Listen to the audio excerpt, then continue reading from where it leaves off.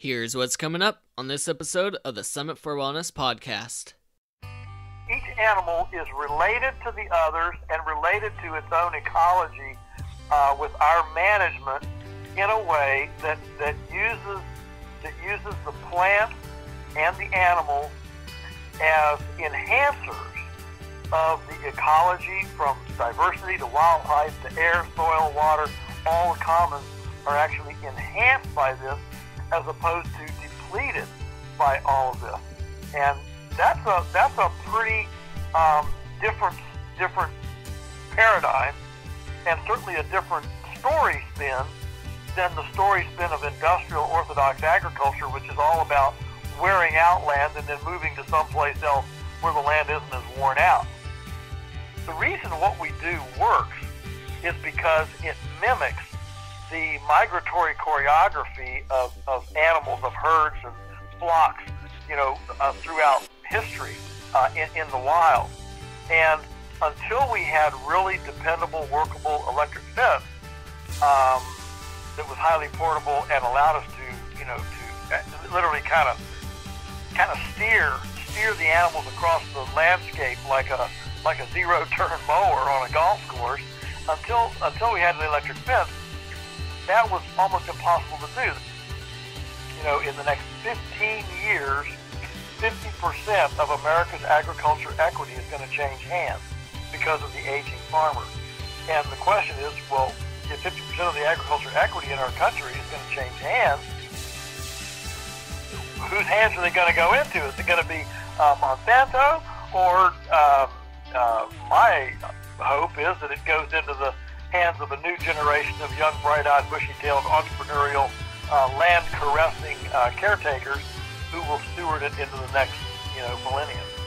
Until we realize that as we look down on our plate, think, envision, you know, sitting down to dinner, I want you to think about looking through your plate into the landscape that that plate is creating. That literally is is the truth.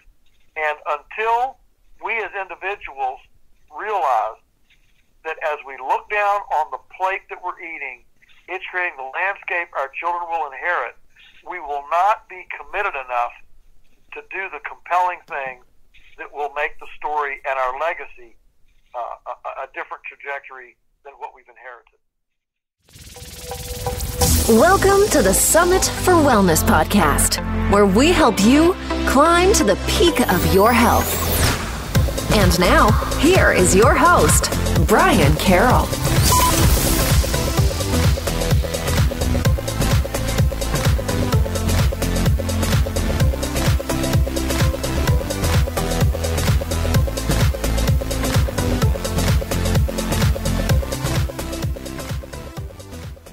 Welcome to episode 14 of the Summit for Wellness podcast. Today, we are going to be talking about sustainable farming. And I've been looking for a little while to find a really good person to interview on this topic because I think it's a fascinating topic and it's one that we should uh, really be looking into for uh, better farming practices and to provide our communities with better products and I ended up finding the leader of this movement.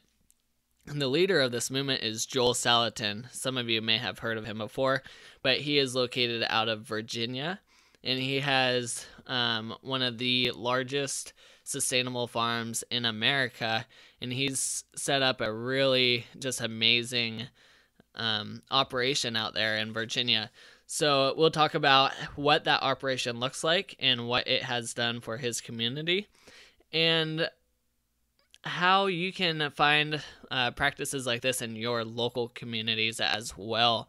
So, our sponsor for this show is your local farmers. And I really mean that. I'm not going to try and have you guys help me out in any way with any other sponsorships. I want you guys to help yourself and your community by going out to your local farmers and helping them to provide you with really good products and good quality meats. And the more we can shift our attention to the farmers in our local areas and for our attention to be on these good processing um, practices and these really good quality meats, then the better our food chain will become. And right now, our food chain is making a lot of us sick just by how it's getting processed and all these um, contained facilities that a lot of the animals are coming from from the commercial um, platform. And so, by us going out to the local farmers and showing them with our dollars that we want good quality foods and good quality products, then we can change the way that our food system is. I do want to forewarn you that the audio is a little uh, wonky in this episode, uh, mainly because Joel is a very simple person. And by simple, I mean we weren't able to use my standard system for the way that I record. Um, so I had to scramble last minute to try to figure out how to record from a landline. So we did the best that we could, and I think it still sounds pretty good and I hope you enjoy it. So let's get to the show. So today we have a special guest for you guys. He is Joel Salatin from uh, Polyface Farms, which is located in Virginia. Uh, Polyface Farms is one of the premier non-industrialized food production farms in America and he has written over nine books, has been featured in a few different documentaries such as Food Inc., Farmageddon, and Polyfaces, and he's been a huge advocate of regeneration farming practices. Joel, welcome to the show. I appreciate you coming on. Thank you, Brian. It's a, my delight to be with you. Thank you. So, Joel, you have kind of a unique um, story with your farm.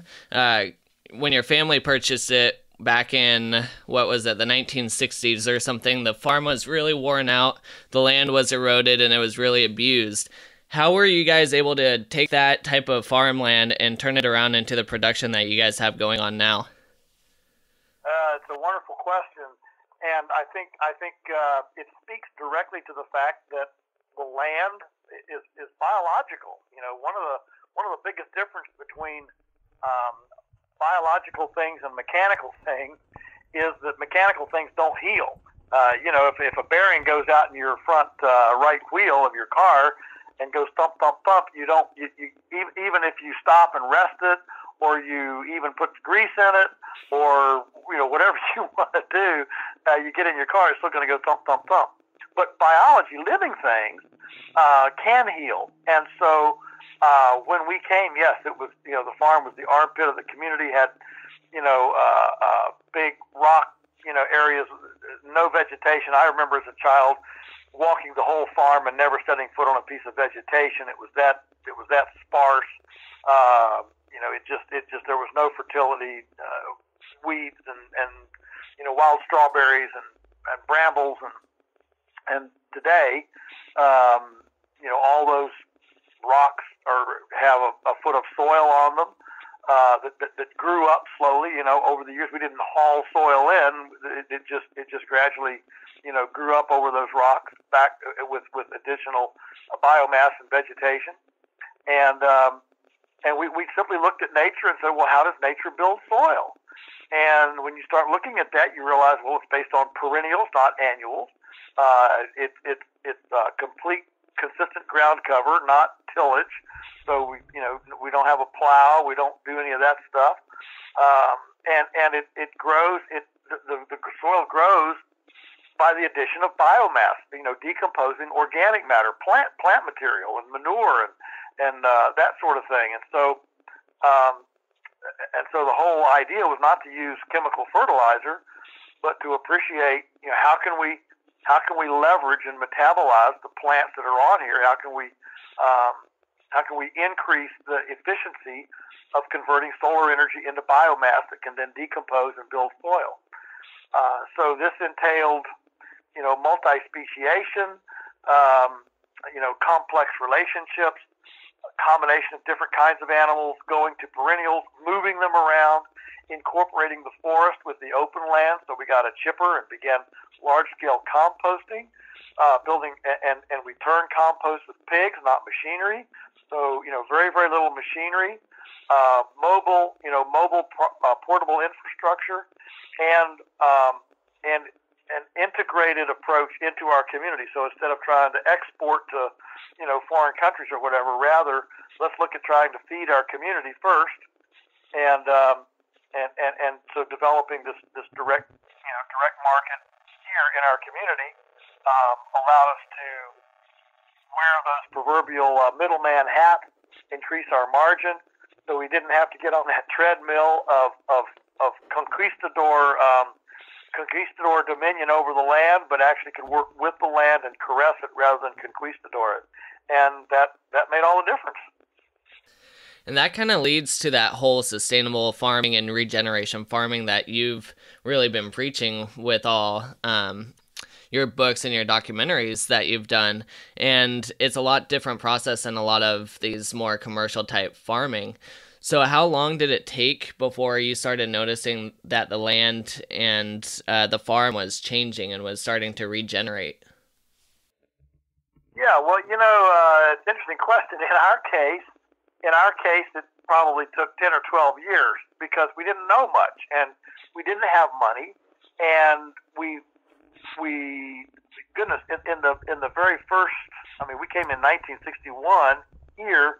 Well, goodness, um, the chainsaw as we know it, which is critical for, you know, for wood biomass to, you know, develop chips, chips and sawdust and things like that, uh, had just been, you know, modernized. Um, uh, the bandsaw mill had not yet been invented. Um, the you know uh, uh, materials handling equipment like front end loaders.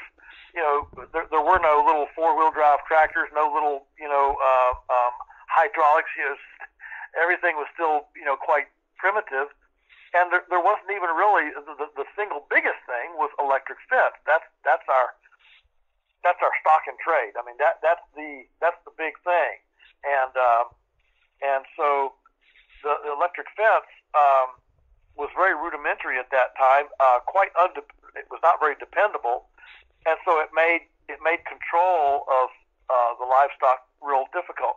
The reason what we do works is because it mimics the migratory choreography of, of animals, of herds and flocks, you know, uh, throughout history uh, in, in the wild. And until we had really dependable, workable electric fence um, that was highly portable and allowed us to, you know, to uh, literally kind of kind of steer steer the animals across the landscape like a like a zero turn mower on a golf course until until we had an electric fence that was almost impossible to do the closest was you know nomadic cultures and shepherding and and herding animals but um you know, that was still somewhat rudimentary, you know, to, to keep animals contained and, and that sort of thing. Now, with electric fence, we were able to actually, you know, put a, a, a steering wheel, a brake, and accelerator on that on that animal and move it where it needed to be for as long as it needed to be for just the right time so that it could prune or manure or um, you know, uh, chickens, eat, eat flies out of cow pies, you know, just so it could do, you know, just what needed to be done. Um, you know, part and parcel of this, goodness, was the pneumatic tire. Uh, how could you have, um, you know, portable eggmobiles, you know, mimic the, the egret on the rhino's nose? How could you mimic that on a commercial scale until you could move, um, move large flocks of chickens behind a herd of cows? And so the pneumatic tire enabled us to get a big enough, you know, enabled us the mobility of structures to be able to move large flocks of chickens, you know, distances easily. So there's a, there's a lot of, you know, people look at us and, and I think sometimes wrongly think that we're Luddites and we're, you know, want to go back to, um, you know, washboards, hoop skirts, and hearth cooking, and and nothing could be further from the truth. Um, we're simply using technology to caress the landscape, to to look at those ancient patterns and those order that order, uh, and and how can we how can we massage it, if you will? How can we do that better, as opposed to um, uh, you know adulterating or or running roughshod? That's that's a better word.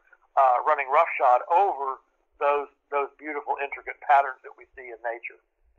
So it's kind of interesting that you mentioned that uh, people kind of think that your farm is taking a step back with farming by doing the processes that you guys do. However, I would think that because you are using that um, rudimentary pattern with the animals, that you're probably saving money by not having to use as much feed. You're not using fertilizer. You're using using these processes that are natural for the farm and really utilizing it to the best ability. Yeah, and, and the, the, the coolest thing about that is that it moves our equity uh, what we do, of course, takes a tremendous amount of skill and information because you're studying these patterns, these natural patterns, saying how do we do this without pharmaceuticals, without concrete, without you know fans and machinery and all that stuff. And so what it what it does is it moves it moves our our equity from physical infrastructure to non-physical uh, value, which is skill, information, and customers. And there's not a lending institution or a banker in the world that can come to you and say, "I'm gonna, I'm gonna foreclose on your knowledge, or I'm gonna, uh, I'm gonna repossess your skill." And so, by moving from physical to non-physical equity, it not only does it change, you know, our, our capitalization uh, uh, cost, but by changing the capitalization cost, that actually creates a pathway in for new, new aspiring young farmers. You know, one of the reasons the average American farmer today is 60 years old is because when young people can't get in, old people can't get out. And so if we can create low capital uh, pathways in, then we will be able to see that, that, that successional transfer occur. You know, in the next 15 years, 50% of America's agriculture equity is going to change hands because of the aging farmer. And the question is, well, if 50% of the agriculture equity in our country is going to change hands, whose hands are they going to go into? Is it going to be uh, Monsanto or um, uh, my hope is that it goes into the hands of a new generation of young, bright-eyed, bushy-tailed, entrepreneurial, uh, land-caressing uh, caretakers who will steward it into the next, you know, millennium. So we'll go a little bit into um, how you're getting that information out to more farms and more people so that they can take the information and run with a little bit later on. But can you talk about how um, you've set up the farm so that the animals are using the natural resources provided by each other? So how do the chickens use the farmland? How do the cows use the farmland, etc.? Sure, sure. Uh, great, great question. So let's start with the cows because cows are, in many kind of radical environmental circles, cows are kind of demonized. But let, let's not talk about cows. Let's start with herbivores. What's the reason for herbivores? If you if you look around the planet, I mean, there's everything from you know zebras to gazelles to caribou to moose to bison to alpacas, llamas. there, there are a lot of herbivores around the planet. And the reason that there are so many herbivores is because uh, biomass, biomass, um, you know, comes in kind of three styles: trees, uh, bushes or woody species, and then forages, or, or very generically grass. Just call them forages. And and uh, forages are the are the most efficacious um, converter of solar energy into biomass. But in order, but because they are so efficient, they have a very fast metabolism. That means that means they they grow rapidly, they and they mature rapidly, as opposed to a tree, for example, that you know takes years and years and years to mature, grow old, and die. You know what a tree does in a hundred years, a blade of grass does in in uh, you know 80 days. So the reason for the herbivore is to come to that senescent that senescent mature forage and prune it, just like a viticulturalist would prune a vineyard or a or an orchardist would prune an apple tree to stimulate new growth. So the herbivore comes to that that uh, declining forage, prunes it, and what I call um, restarts the biomass accumulation cycle. And um, and so that's the reason for the herbivore. The, the problem is that in in cattle, uh, with, with cows as an herbivore, we have divorced the herbivore from that historic role. and we've put them in feedlots. We've we've given them uh, annuals like corn and soybeans instead of perennials like grass and clover. And uh, so we, we have we have taken what is a very beautiful, symbiotic, um, refreshing, encouraging, stimulating uh, relationship, and we have profoundly um, taken a beautiful integration and created an ugly segregation out of it. And and so on our farm, we're looking at how herbivores move and this pruning. How does this happen in nature with these migratory, um, you know, herds and stuff? Well, you know, we can't migrate anymore because the neighbor doesn't want our cows, and you know, it's not good to run a herd of uh, a million bison probably through the parking lot at Starbucks. So, you know, that's kind of problematic today. But what we can do is with with high tech electric fencing, we can literally steer those pruners around the landscape as precisely and perfectly as you can wield a set of pruning shears in a vineyard or a, a zero turn mower on a on a golf course. And and for the first time in human history, that's possible. Uh, so that's that's how the the animals then move around our farm, and the result is that that we quintuple not quadruple, not triple, but quintuple the amount of production per acre on our farm compared to uh, other people. Obviously, if we're quintupling production, we're quintupling carbon sequestration, uh, solar collection, biomass generation. And so since 1961, our farm has gone from 1% organic matter to over 8% organic matter due to this increased vegetative uh, vegetative production because of the strategic pruning. Now, you're going to move these cows around, you know they need they need shade. We have portable shade mobiles using high tech spun uh, uh, woven uh, nursery shade cloth on, on portable you know portable uh, infrastructure. We follow the cows in with the egg mobiles. The egg mobiles come behind them. The chickens, you know, the birds follow the herbivores in nature. The chickens then scratch through the cow patties spread them out, eat the fly larvae out, sanitize the paddock, convert the worms and the grasshoppers and crickets into eggs, and that way we get we get uh, eggs as a byproduct of the pasture sanitation program. Um, when we feed hay, we do so in a in a simple uh, shed shelter to protect all the manure and urine from the winter, you know, snow and rain and all that. And we use wood chips or carbon, uh, any other carbon, uh, you know, old hay, old corn stalks, uh, peanut hulls, uh, bark mulch. Um, you know, name your name your carbon, but um, we have a carbonaceous diaper, if you will, under all that manure and urine to absorb it, to hold it. The cows are trumping out the uh, oxygen, so it's actually anaerobic, fermenting. We add corn to it. When the cows come out and begin grazing again in the spring, then we go into that three to four foot deep bedding pack with that's fermented with all this corn in it, put pigs in there. Pigs then speak the corn, and in doing so, they aerate it, oxygenate it, kind of go through like a great big egg beater and stir it all up. That moves it from anaerobic to aerobic compost, with the pigs doing all the work. So then, the heart and soul of the farm is this whole composting thing where we're putting hay through the the, the, the herbivore.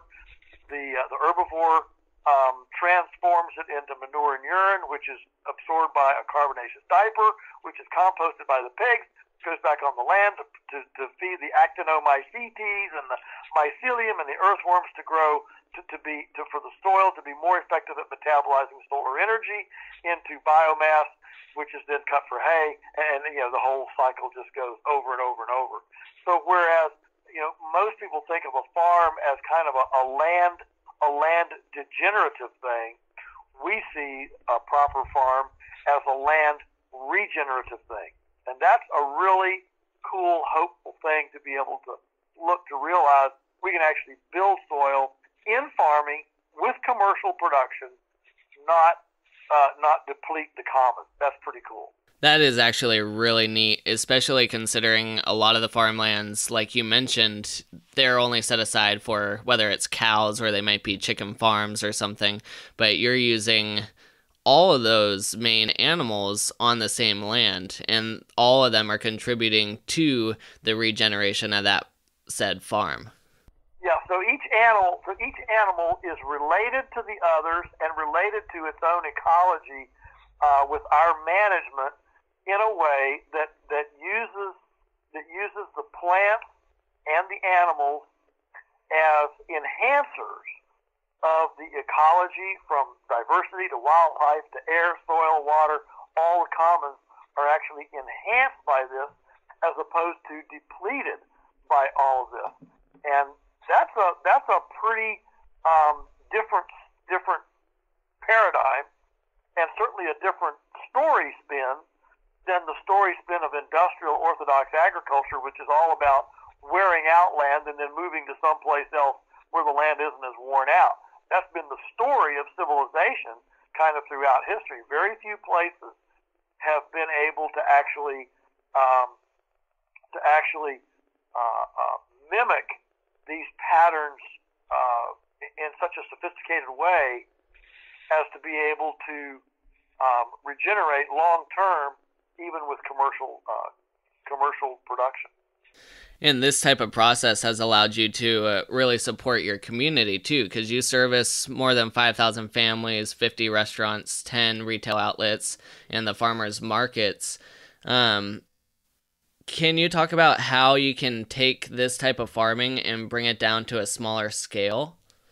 Yeah, well, that's that's a favorite thing now. You know, the, the tension of my life is that 30 years ago when people started asking me to tell my story, you know, and I'd do a speech and I'd get done and, and uh, they'd say, oh, that's, that's cute and warm and fuzzy, but how does it scale up? Today I get done and people sit there and say, wow, that's amazing. How does it scale down? so, you know, that's, that's just the way things go. But one of the beauties of, of this whole uh, approach, that this um, this kind of mobile, modular, management intensive approach that I've described is that the infrastructure is very cheap and very scalable. Again, the equity is in the management, the mobility, and the and the modular uh, uh, configuration of the infrastructure. So you can start very small. I mean, let me give you an uh, uh, example. My first eggmobile, I built on bicycle wheels. It was six feet by eight feet a little squatty, um, you know, uh, a wire mesh floor with a little uh, uh, top peak roof, you know, house on house on top that weighed so light. I had it was on two bicycle wheels, and I could push it around. It had about 48 chickens uh, in it, or, or 45, something like that, and I could literally just push it around by hand, and had a yard that went out from it. It was really really slick, and so you know that same kind of thing can be done uh, today, what happened was I happened to move it one time after the cows had been by and saw them scratching up the cow pies so aggressively. I said, "Whoa, wait a minute! Uh, this is pretty cool. Look what these chickens are doing." So then I, I retrofitted it to a to a three point hitch so I could pick it up with a tractor. Uh, and then that worked so well. Then I said, "Well, let's make a make a trailer." So then we made the pneumatic tire, you know, eggmobile, and now we put hook two of them together like a train, and we move, you know, 800 chickens at a time in these two um, eggmobiles. So that's the progression. Um, so one of the one of the beauties of this is that it, it, it, it's not about it, it, it's not prejudicial toward volume. Um, it's prejudi- it's prejudicial toward management and observation, and uh, and so this can be done in a suburban backyard. Uh, it can be done anywhere. Now, you know, I'm a big fan of even chickens in your house. I mean, if you don't have any land at all, um, you know, throw out the dog, the cat, the parakeet, and the boa constrictor, and put in a couple chickens, and you can feed them kitchen scrap. And uh, now that eliminates, um, you know, garbage to the landfill, and you get a couple eggs. And um, you know, if if if if this became normative in the culture, we wouldn't even have an egg, quote unquote, an egg industry. You know, uh, it would be people just uh, producing their own eggs from, um, you know, from the waste stream. And historically, that's how chickens were used. You know, that's why chickens in the homestead you know the farmstead homestead kind of went together was because chickens were a salvage salvage operation for you know spoiled fruits, um, you know the edges, uh, you know bugs, ticks, crickets, things like that, and um, so there's you know there's a lot of benefit there. And when you when you take uh, birds away from that uh, from that niche of, of beneficialness, I don't know if that's a word or not, but you know it is I mean? now. Uh, from that from that beneficial ministry, if you will, that that niche that respects that respects their um, their unique physiology and, and phenotypical uh, design, then you know then they're not nearly as efficient as they would be fulfilling their you know their functionality. Yeah, and chickens are pretty easy to raise. I have a bunch of chickens at my house, and I give them all my scraps and let them roam around the yard. And not only is the quality of the eggs a lot better than what you can find in the store, but a lot of my friends and stuff will come over and ask if I have any extra eggs so that they can use them too. So uh, like you said, even if you had a couple chickens and you were able to get the eggs from them, that can be your start to providing for yourself or your family with good quality foods. Yeah, yeah, that, that's for sure. And and you know, I, I think I think it, it doesn't hurt to even mention kind of the, the spiritual or emotional uh, dimension of this. That that um, you know we fear what we don't know, and I mean all of us are like that if I don't know anything about it, then I'm kind of timid and fearful about it. And I think that actually participating in the in the mystery, the awesomeness of of gardening and food production and animals and life like this, your, your own. I mean, there's nothing as intimate that we do than than eating, right? Than, than eating food, feeding our our three trillion member internal community, our microbiome uh, it, it, that's a pretty intimate, uh, personal thing that we do, and to be as profoundly ignorant of of that whole thing as most people are, um, is to actually fear what nurtures us. And when you fear what nurtures you, um, it, it, it's simply not a healthy emotional, mental place to be because you see you, know, you see demons everywhere and you're paranoid. You don't trust and and there's all sorts of ramifications, societal, big societal ramifications when you fear something that's supposed to be as intimately nourishing as food. And so, um, and so I think that backyard gardening, I mean, even patio gardening, uh, rooftop gardening, uh, having honeybees up there, or uh, you know, tubular gardens that hang on your your porch. You know, you pack them in compost and you grow all your herbs and strawberries in these little pocketed uh, uh, tubes. Um, having a couple of chickens in the in the house or rabbits in the in in the out by the garage. Um, participating in this whole in, in, participating in food in some tactile, visceral way, I think has ramifications way beyond just you know physical security and uh, and and uh, you know doing it for yourself. And I appreciate DIY. I get the do it yourself. You know, that's great. But I think I think there's a lot more to it than just that. Yeah, I agree. I totally agree. Okay, so uh, you probably have some of the best foods um, that anybody can get from a farmer because of the way that you have set up your farming. However, you're a really big proponent on staying local and providing for your communities. So you don't ship anywhere to the U.S., right? It's more just the local region. Yeah, the, the only the only thing the only food we ship right now are our um, is our pork jerky. They're called Rome sticks, and um, and we ship those uh, because they're they, they're they're shelf stable. There's no spoilage. They can go in a little jiffy mailer, and in fact, um, that is what historically what how people used to travel. You know, think about think about uh, 100, 200, 200 years ago when somebody, or good, go, go back, go, you know, 800 years ago when somebody traveled, um, you know, there wasn't a, there wasn't a, a, a McDonald's or a Burger King. Not that I'm encouraging anybody to go there, but uh, there, there wasn't the options to um, stop and dine anywhere like we have today, uh, especially in the wilderness. and so uh, you know the Native Americans and things. So how did they how did they travel? How did they send you know a delegation a week's journey over to you know the the League of the League of Indian Nations? how did they do that? Well, they traveled with with um, jerky, with um, dehydrated meat. This was you know this was the the, the nutrient dense thing that they didn't they didn't dangle watermelons and squash as much as I like watermelon and squash that wasn't dangling from their belt. You know, that what was dangling was was a pouch of pemmican or um, uh, you know jerky, dried you know dried meat stuff. And so um, so yeah, we we do ship the uh, you know the the, rum, the, the pork uh, jerky, and it's it's to die for. We don't ship anything else. Uh, we stay kind of in our what we call our bioregion. We we go out four hours. Um, and four hours.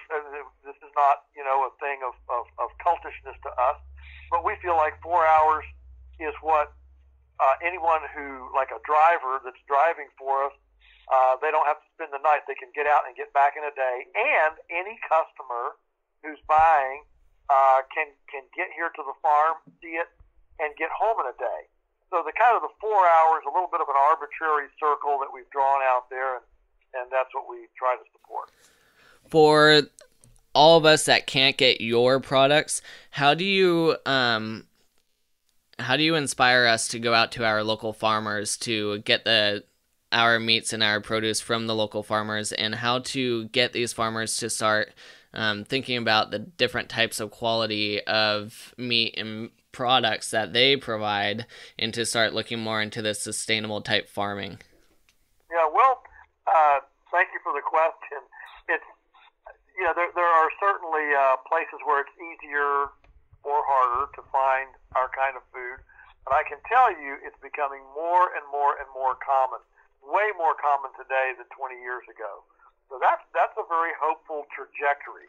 And um, so what I tell people is I was inspired one time. I'll tell you a story just to help you appreciate uh, where I'm coming from. I was up in uh, Ontario doing a, a a presentation at Guelph, at the University of Guelph in Ontario, and there were three of us uh, doing these presentations, and one of them was an attorney from Toronto. And let me tell you her story. So uh, she and her husband, you know, lived in a like a sixth floor, um, you know, uh, condominium up in this high rise in Toronto, and um, they had a baby. She had a baby. He didn't. She had and this baby kind of, you know, whoa, we're responsible for this life, and it kind of got him to thinking. And so, well, you know, what what can we do to ensure that this is a healthy, you know, uh, baby? So, you know, first thing I decided to do was breastfeed. Well, that that was one thing they could do. Okay, so they did that. So, well, what about you know everything else? And so they decided to unplug the uh, uh, TV, basically they said, here's what we're going to do. We're going to take all of our time and money that we would spend on entertainment and recreation for one year, just one year, like take a one year sabbatical from your typical entertainment recreation, and we're going to spend that time and money seeking our our food sources. Uh, they're they're here. We just have to find them with the idea being that at the end of the year, there are no barcodes in our pantry. Uh, this is this story is you know it's about 12 years old, so you know it, it, it probably would be a lot harder to do today the, the no barcode thing.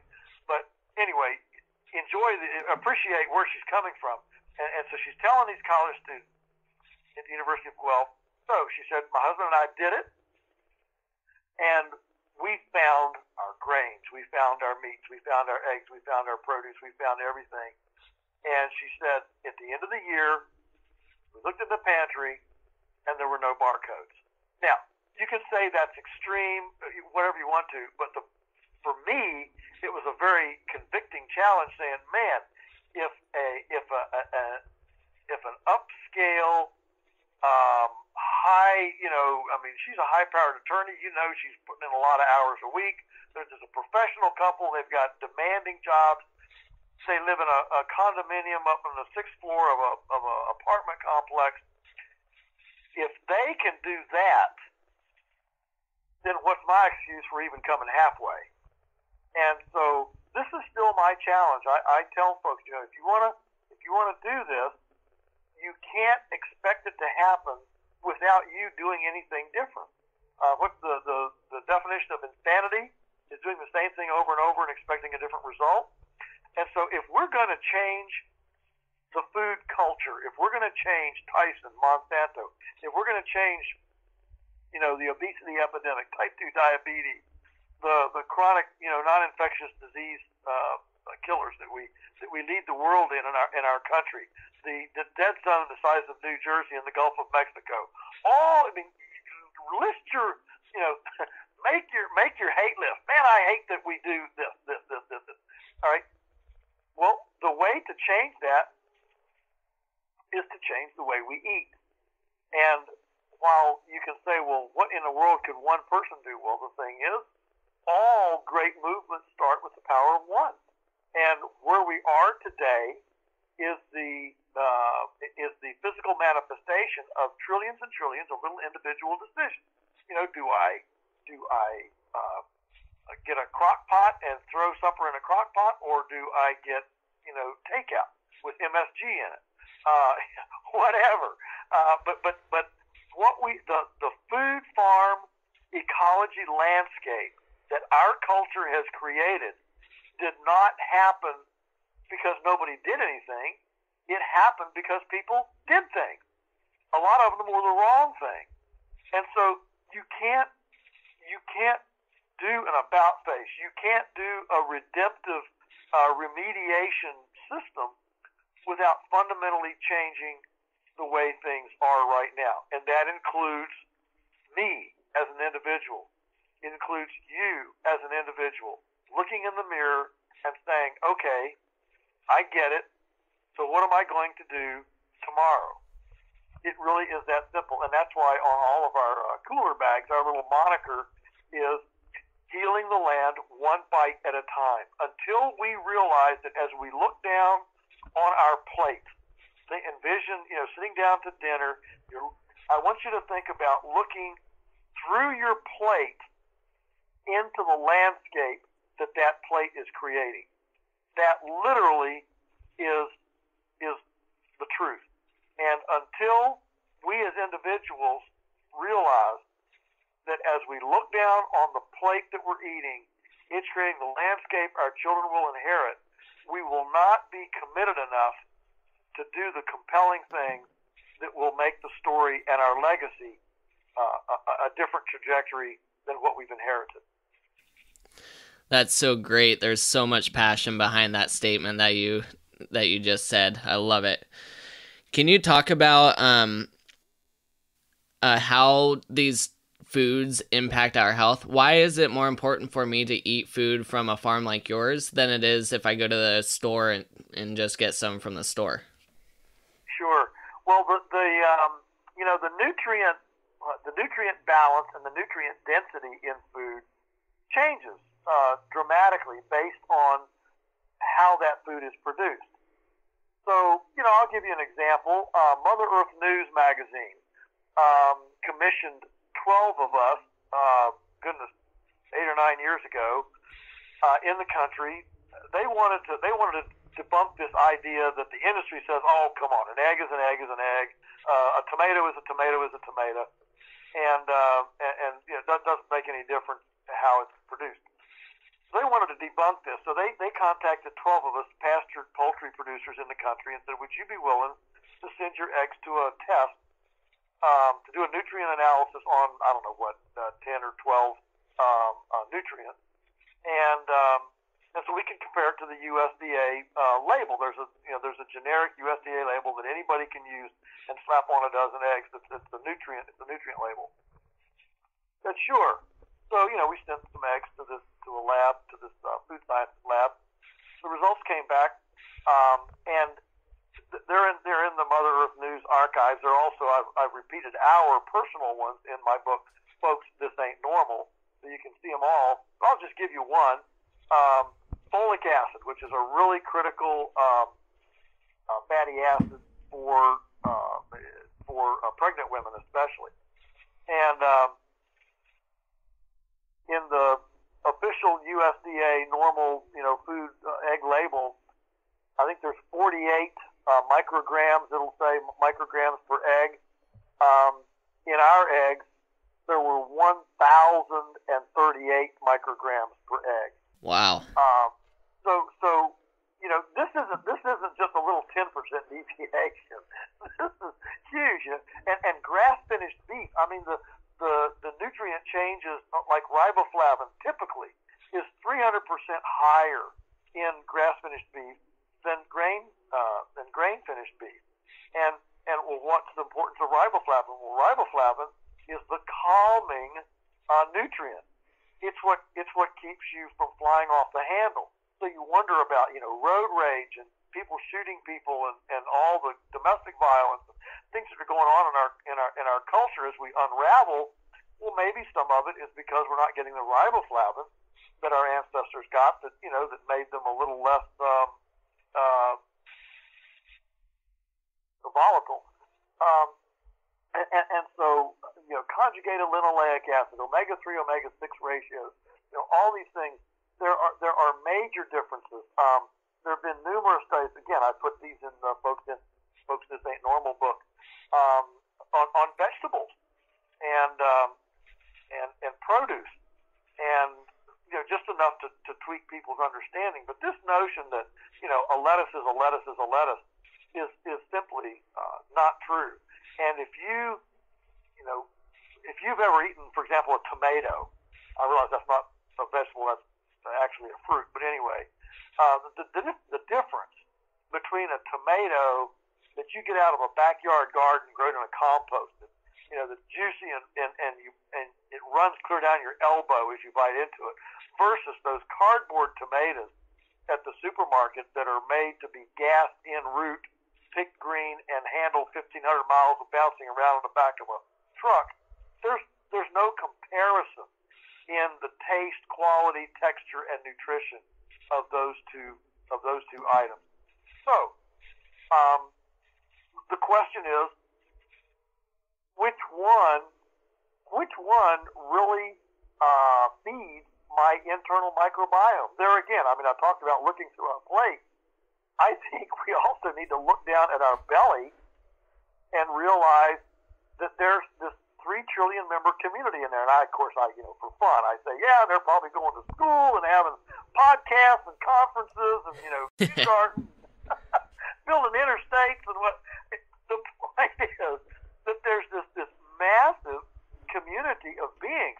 Stanford University has now uh, isolated their language. We can't communicate with them yet, but but we know that they talk to each other and say, "Hey, hey, there's you know there's some protein over here. Come over here." You know, the, the little little uh, microbes run over there and grab that protein. Oh, hey, there's some calcium over here. Anybody need calcium? Okay, come you know. And so, so it, it, it's like this this whole cafe community, you know, of, of trading and bartering and and going on down there. And, and I think when we when we view our our inside as the kind of life that they really are, it it it moves us to a place of of responsible thinking, of of, caring. Uh, Michael Pollan, I think, is, is so good on this. He he says he says I think most people eat thoughtlessly, and I think he's right. We just eat. It, it's it's just something we do because well, I got to eat. You know, I'm hungry. Whatever. My stomach's rumbling. Um, but we, we actually eat fairly thoughtlessly. We eat with convenience. We eat with you know whatever's in hand, um, whatever's being advertised on TV, whatever our friends are eating. You know, this, kind of thoughtless, just just go with the flow. And, and I think that that if we actually saw the the incredible complexity and in, intricacy of this this this relational living being oriented community inside of us, we suddenly we kind of hey hey hey guys hey guys um, uh, can I help you here today? You know, I want to help you, not hurt you. I want to I, I want to be your friend, not your enemy. And um, and and I, I think that's a that's a you know, it's humorous, but I think I'm dead serious that I think that's a real uh, helpful way to move us mentally into a space where we're willing to uh, to invest to invest the thought process in how are we going to feed this community. Yeah, and to go back to the point about people um, eating thoughtlessly, we're seeing a lot now that people don't even know when they're eating. They'll be watching TV and they'll just have something next to them, and next thing they know, the bowl of whatever it is is gone.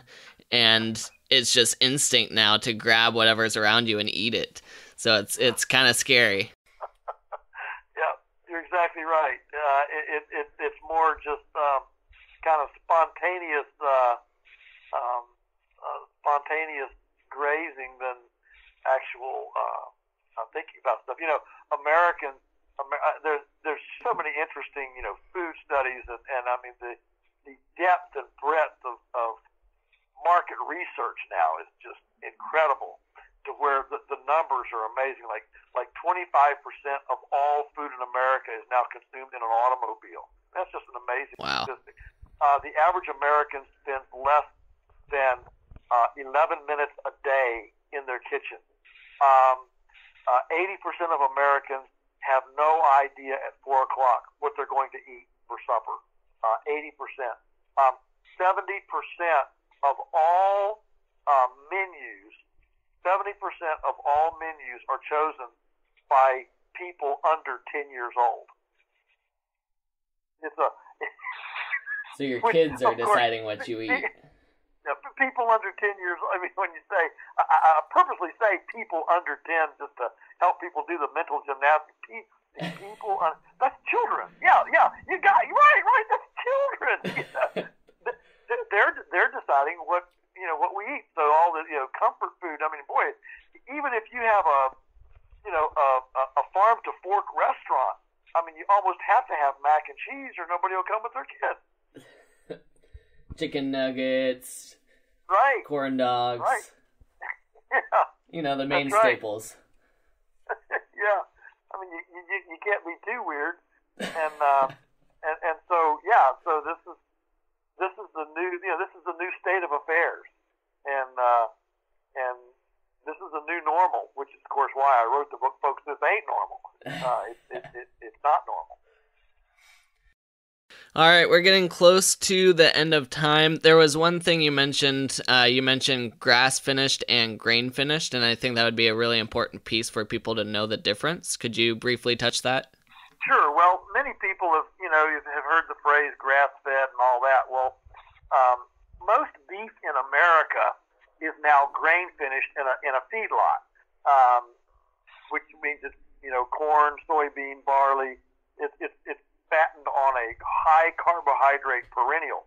Now, it sure makes it fat, which makes it moist, um, but it also chases a lot of the nutrition out of the body and and com- uh, uh, makes the the uh, the bad fats go up, the good fats go down, and changes the nutrient profile. I mean, dramatically. And so when we say grass finished, we mean an animal, we mean a, a, an herbivore, an herbivore that's never had grain, that, that's never, uh, it, it, it's not it's not grain finished on pasture. It is grass exclusive, exclusive grass finished.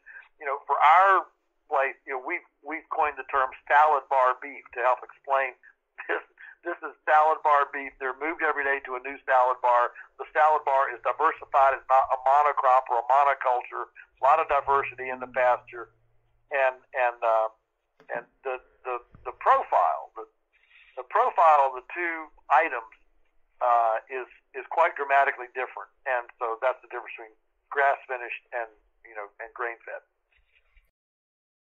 And I want to talk briefly on um, the fish uh, culture as well. I know you don't do fish, but there, since we've been talking about uh, the animals eating what they're supposed to naturally be eating, there is a difference between wild caught fish and farmed fish. And farmed fish typically are fed corn and soy products, which I don't know if you've ever seen corn or soy growing under the water, but I definitely haven't. And so that's going to change the the type of food that you're eating if you're getting farm fish. So if you're looking for good quality fish as well, make sure you get the wild caught type of fish. Yes, absolutely. There's there's a lot of difference there.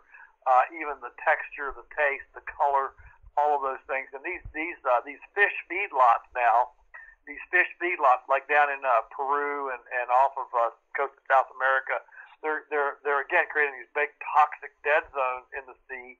Uh, they're having to uh, again give the fish uh, antibiotics to keep them alive in such a pathogen-inducing environment because they're too crowded and and the, the ocean can't can't clean through fast enough.